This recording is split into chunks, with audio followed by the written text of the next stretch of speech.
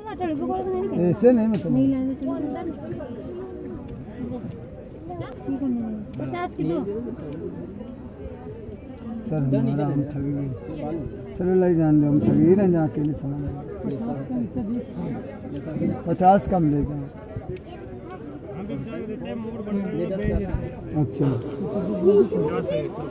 लेकिन सामान पूछा पचास से दे रहे थे हमें एक नहीं बेचना होता हमें पाँच रुपए में मिल जाएगा तभी बहुत है। माला लगा दो पचास से भैया माला के दस रुपए रखी है ज़्यादा रखी नहीं। माला? भैया नब्बे रुपए की अपनी पड़ी है मुझे दस कमाता हूँ जेब जेब पाँच लग रहा हूँ।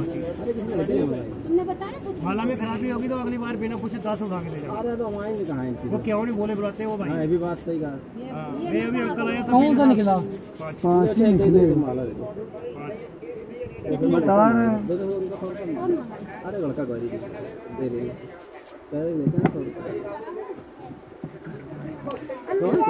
रुपये दे दे भाई वो भी ले रहा है। मेरा बच्चा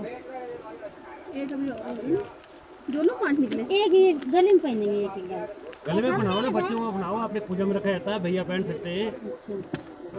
अच्छा चेक कर दिया ऊपर जल्दी जल्दी भैया दे दो क्योंकि टाइम बहुत हो गया।